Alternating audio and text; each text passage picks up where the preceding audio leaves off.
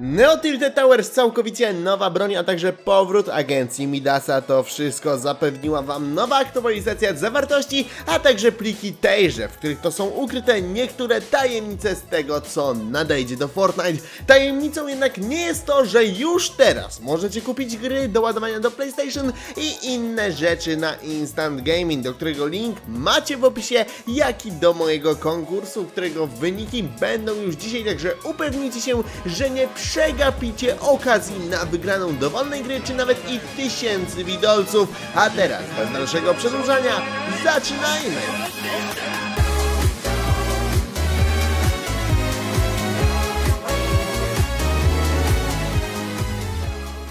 Pamiętajcie o kodzie JAJUT w Fortnite'owym sklepie na zakupy, to z którym udała się chociażby ta widoczna piątka. Dzięki! Wpływ odsłoniętego punktu zerowego na wyspę to chyba jeden z najlepszych zabiegów kosmetycznych, które Epic Games uczyniło w całej historii tejże tej gry. Aktualnie mamy nową sadzonkę, która znajduje się dokładnie tutaj. Jest to odgałęzienie głównego drzewa rzeczywistości, które znajduje się tutaj i dzięki temu przy tej nowej sadzonce co mecz będziemy mogli znaleźć to nową miejscówkę. W Patch tak pojawiła się informacja o tym, że aktualnie do gry zostały dodane trzy nowe miejscówki, jednakże niektórzy z Was mogą się zdziwić, ponieważ na mapie widnieje tylko jedna. No i wynika to stąd, że wpływ punktu zerowego całkowicie zaburza czasoprzestrzeń. I aktualnie jesteśmy na takich, że tak to ujmę, nowych wykrzywionych wieżach, nowych neo wykrzywionych wieżach, e, które zachowały bardzo dużo estetyki z tamtej to też miejscówki i to co po niej widzimy to to, że osobliwość dalej jest wśród siódemki, nie odeszła, ponieważ to właśnie ona odpowiada za miasta, które są zbudowane w ten oto sposób. Czy to odpowiadała za sklepową sadybę, czy także neo wykrzywione wieże. Odpaliłem kolejny mecz i tym razem natrafiłem na coś w rodzaju areny z sezonu 5 rozdziału drugiego, kiedy to Jones szukał agentów, którzy pomogliby mu ochraniać punkt zerowy. Poza tym, że możemy znaleźć tutaj chociażby rydwany, czyli standardowy element dla każdego koloseum, to mamy tutaj pewnie wiele rozmaitych smaczków, jednakże rozmach tej miejscówki aż sprawia, że poczuwam pewne dreszcze, jeżeli miałbym przeszukać to wszystko, ponieważ zajęłoby to pewnie dużo e, czasu, ale tutaj chociażby widzimy nawiązanie do plackowego skina, również sezonu 5 rozdziału drugiego, jednakże jest to tylko druga na trzy dodane miejscówki. W ostatniej aktualizacji zawartości, także zobaczmy jaka jest trzecia.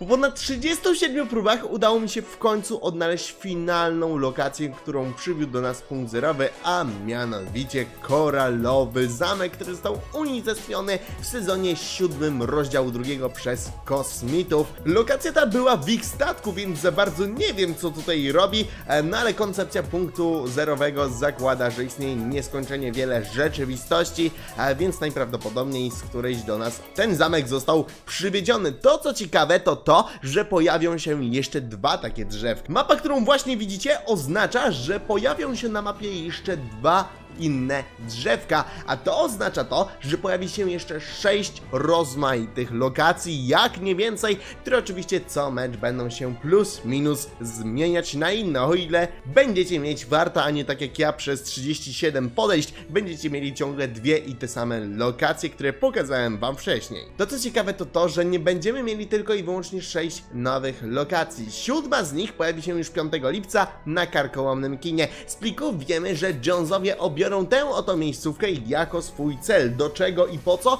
Póki co nie wiemy, ale najprawdopodobniej po prostu będziemy mieli do czynienia z jakąś migracją Jonesów e, i ci pojawią się dokładnie tutaj w całej swojej okazałości i w pełnej ilości. Jednakże zobaczymy, czy pojawią się tylko i wyłącznie na jakiś meeting, żeby na przykład pooglądać jakieś filmy w samochodach, e, czy może uczynią z tego swoją kolejną i nową to też bazę. Także to już 5 lipca zobaczymy tutaj właśnie najnowszą miejscówkę i myślę, że Epic Games chyba nie dodał tyle miejscówek, co w tym jednym sezonie przez e, ostatnie dwa lata, e, no ale oczywiście to jest bardzo dobre dla samej gry. Jedynym smutkiem jest to, że punkt zerowy tak będzie zmieniał mapę, że de facto nie otrzymamy naraz 6 tych miejscówek nowych, jeżeli pojawią się już wszystkie, tylko co mecz po prostu mapa będzie w jakiś sposób się zmieniała, ale oczywiście jest to także sposób i jakaś forma zapewnienia nam unikatowych przeżyć.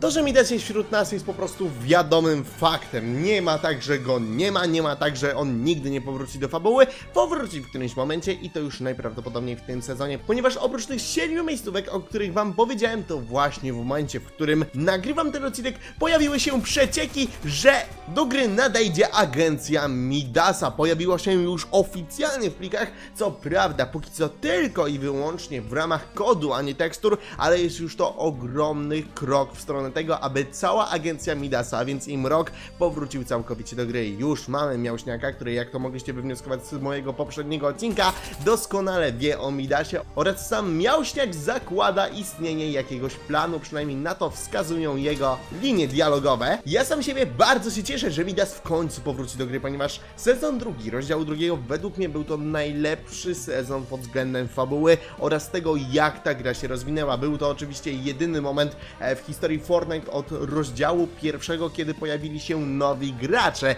e, w tak ogromnej ilości, kiedy zainteresowanie Fortnite ponownie urosło do makabrycznych rozmiarów. E, Później ta historia niestety się nie powtórzyła, co według mnie jest dość e, dziwne, aczkolwiek tematyka tamtego sezonu oraz nuda po sezonie pierwszym rozdziału drugiego z pewnością sprawiły, że to właśnie sezon drugi rozdziału drugiego jest wspomniany jako jeden z najlepszych sezonów w historii tej gry. Jak dla mnie był on najlepszym. Tydzień wyrzutni pił. Wyrzutnie pił będą rozchwytywane od 28 czerwca od godziny 15 czasu polskiego do 5 lipca do godziny 14.59 czasu polskiego. Chwyćcie za wyrzutnie pił, by wystrzelić tarczę. Nawet gdy tarcza opadnie na ziemię, zacznie się toczyć siejąc zniszczenie i spustoszenie na swojej drodze. Epic Games napisał następujące zdanie. Rozpoczęła się najprzyjemniejsza pora roku, więc może warto uścić ją fajerwerkami. Ja bardziej nazwałbym to pogrzebem, ponieważ przy tych temperaturach nie chce mi się żyć. Dzięki rakietnicy na fajerwerki nie będziecie strzelać zwykłymi racami. Zamiast tego każdy strzał będzie niczym pokaz sztucznych ogni, co właśnie widzicie. Obszar wybuchu fajerwerków pokryją płomienie, które rozpoczną rozprzestrzeniającą się pożogę. Ponadto w grze pojawiły się już informacje o nowej, lipcowej ekipace, także łapcie tutaj informacje o niej, a także jaki wygląd, co by nie kupować kota w worku. Pamiętajcie również o kodzie JAJU ty w Fortnite'owym sklepie przy zakupie czegokolwiek, a ja tymczasem życzę wam wszystkim miłego dnia, trzymajcie się i cześć!